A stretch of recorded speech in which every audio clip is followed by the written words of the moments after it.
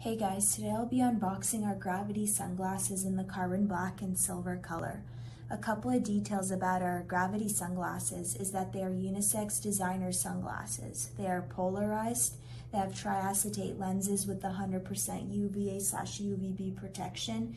They have a flexible frame which is adaptable to all face shapes and they have an anti-slip technology. With that being said, let's get on with the unboxing.